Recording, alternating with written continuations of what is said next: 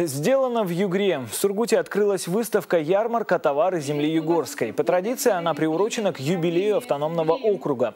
Но в этом году проходит в онлайн-формате. На территории нашего города более 10 тысяч организаций и предприятий, 13 тысяч индивидуальных предпринимателей и свыше 5 тысяч самозанятых.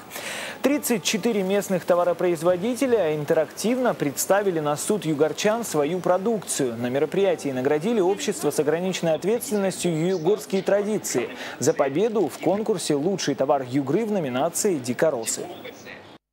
Продукция, которая сегодня будет представлена на онлайн-площадке э, данного мероприятия, это фото, видео, материалы, которые э, мы сегодня представили э, на суд югорчанам и гостям нашего региона.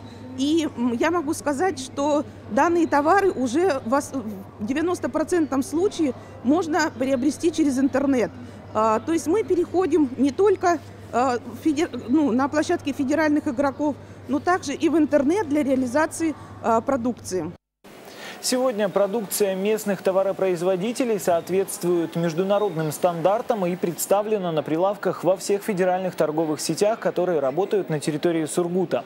Товары пользуются спросом у покупателей.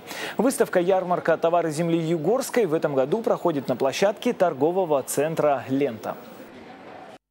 В настоящее время у нас в регионе целиком представлено 32 местных локальных производителя. Доля товарооборота местных товаропроизводителей э, в общем товарообороте составляет порядка 12,8. Это довольно-таки высоко, но и это еще не предел.